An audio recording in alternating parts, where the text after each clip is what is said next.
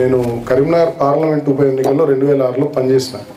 పనిచేసినటువంటి సందర్భంలో ఇట్లనే చొప్పదండి నియోజకవర్గంలో ఐదారు మండలాలలో రాత్రికి రాత్రి మా ఎంపీపీలు జడ్పీటీసీలు మా ముఖ్య నాయకులు మండల పార్టీ ప్రెసిడెంట్ అందరినీ లేపేసింది కాంగ్రెస్ పార్టీ. జనానికి తిక్క ఉట్టుకొచ్చి రివర్స్లో కొడితే ఏడు అసెంబ్లీ నియోజకవర్గాలు అత్యధిక మెజార్టీ చొప్పదండి నుండే వచ్చింది ఆ పార్లమెంట్ ఎన్నికల్లో. జనం అన్ని గమనించుకుంటుంటారు ఒక్కొక్క లీడర్ను కోటి పెట్టి యాభై లక్షలు పెట్టి నువ్వు ఊనుకుంటా పోతే ఊళ్ళలో జనం ఊరుకుంటారా? కోటి తెచ్చుకున్నాడు పోయి ఓటేయమంటే నువ్వైతే మంచిగా కోటి వేసుకుని వచ్చినా నన్ను ఓటేయమంటావు అంటారు జనం.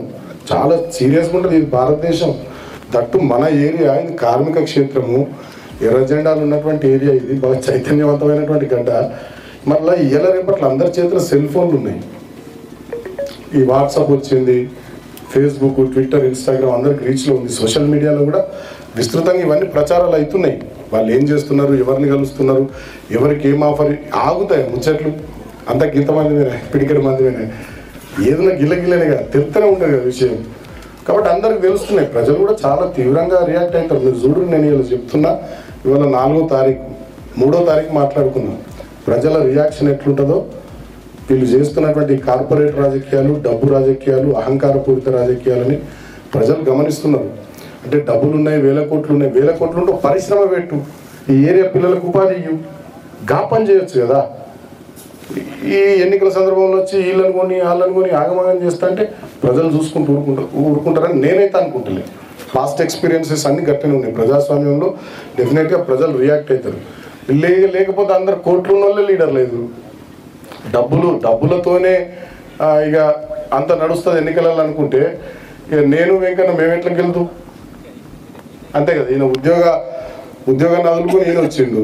ఉద్యమం నుంచి నేను వచ్చిన. అంతే కదా. మాలాంటి వాళ్ళకి ఏడు అవకాశాలు వస్తాయి ఇక డబ్బులు ఉన్నోళ్ళే అంటే కాబట్టి ప్రజలు ఎన్నడూ కూడా దాన్ని గమనిస్తూ ఉంటారు. సందర్భం వచ్చినప్పుడు సీరియస్ రియాక్ట్ అవుతారు. రెండు వేల పద్నాలుగులో కూడా నేను ఆనాడు వందల కోట్లు ఉన్నాయని అటు దిక్కున్నాడు వందల కేసులు ఉన్నాయని ఉన్న నేను ఇటు దిక్కున్నా.